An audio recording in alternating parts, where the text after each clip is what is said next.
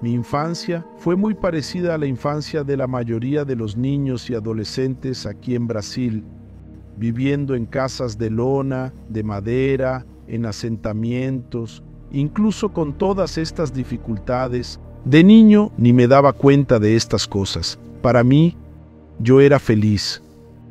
Usábamos luz de vela en la lamparita. Éramos felices incluso con estas dificultades. Sin embargo, a medida que crecemos, nos damos cuenta de que en la periferia no solo falta asfalto, sino también educación, recreación y deporte. El problema es que hay una gran posibilidad de que te conviertas en un delincuente. Te invitan constantemente.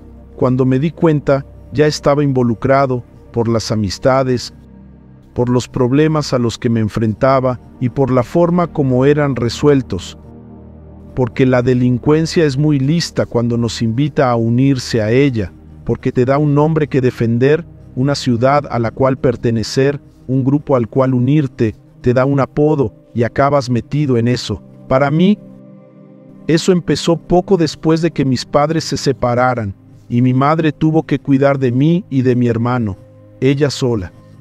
Mi madre lidió con esto mejor que nosotros, pero entrar en el mundo de la delincuencia fue algo muy natural.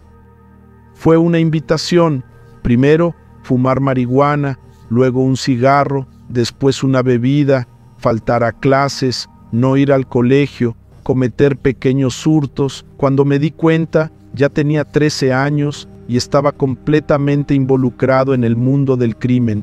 Como resultado de muchas infracciones y delitos cometidos, Fui llevado 26 veces a la comisaría de la Policía Civil con 12 condenas como menor infractor. Cumplí condena desde 2007 hasta 2012. Me trajo malas experiencias, las rejas, la pérdida de amigos, la pérdida de la pureza cuando Él me prometió que podía darme la victoria, que podría ser victorioso. Recuerdo una vez que salí de la cárcel y cuando salí no tenía nada. Llegué a un lugar de la ciudad y Joimir me dijo, Amigo, no tienes nada, pero eres fuerte, ven aquí. Toma esta moto, toma esta arma, esto es para que te protejas. Ya llega el fin de año, vamos a recuperarnos, apurémonos con esto. Y tres días después me volvieron a detener y le debía a Joimir esa arma y esa moto todo empezó a cambiar cuando pasé a régimen semiabierto en la cárcel en el año 2009 y mi madre me obligó a hacerlo. Mi madre Manuela me hizo ir a la iglesia para buscar la llave de la casa. Me hizo ir a la iglesia adventista porque ella estaba en la escuela sabática.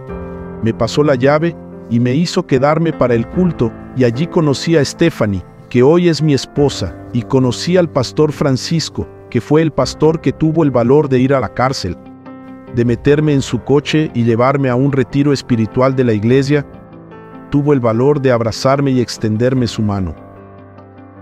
Llegué así, ya sabes, collar en el cuello, anillos en los dedos, bigote de ladrón de bicicletas, todo ese estereotipo que cuando lo miras así, dices, no, este tipo es un ladrón, pero el pastor vio más allá de la ropa vio que en la derrota de mi vida yo podía tener la victoria.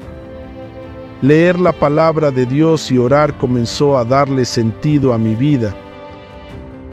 Fue a través de este camino en la iglesia que aprendí lo que es el discipulado.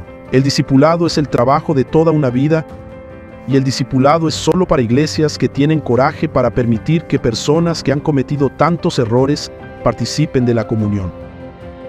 Entonces empecé a darme cuenta de que mi lugar podía ser allí, porque un hermano me sonrió, un hermano me dio un abrazo. Creo que lo que más hizo la diferencia fue que las personas conectaran sus vidas con la mía. Fue entonces que dejé el tráfico de drogas y la delincuencia para siempre.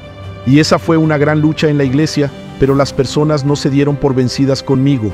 Me convertí en un colportor evangelista y fui a vender libros a través del colportaje a los traficantes de drogas porque todos los traficantes compraban mis libros porque creían que yo podía ser un pastor.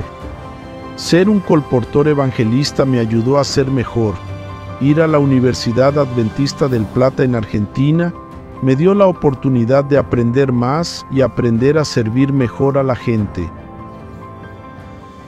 Y luego cuando regresé, la iglesia me invitó a ser el pastor que predicaría el mensaje del Evangelio en las cárceles y a la gente común y pobre.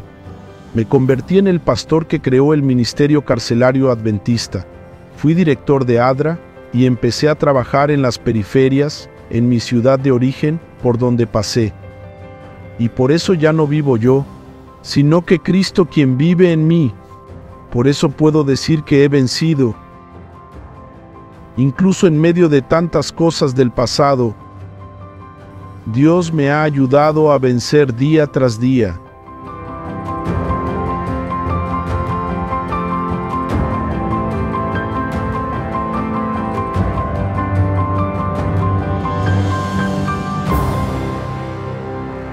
En el 2014, justo cuando cursaba el segundo año de teología, fui a predicar a una iglesia adventista del séptimo día en Tahuatinga Norte y allí me encontré con uno de mis antiguos jefes del mundo del narcotráfico, Joimir Guimaraes, que me regaló una pistola y una moto el 2008.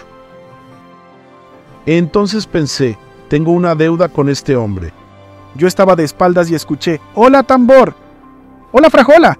El hombre me llamó por los dos apodos que tenía en el mundo del crimen, y dije, ¿quién me llamaría por mis apodos en la iglesia?